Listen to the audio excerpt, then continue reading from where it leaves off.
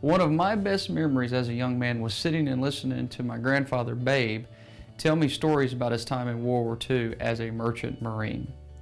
This Wednesday on the Service Contractor Radio Show, I will be honoring the memory of Babe, former veteran of World War II, and I'm asking for other people to honor the memories of veterans in their life that are important.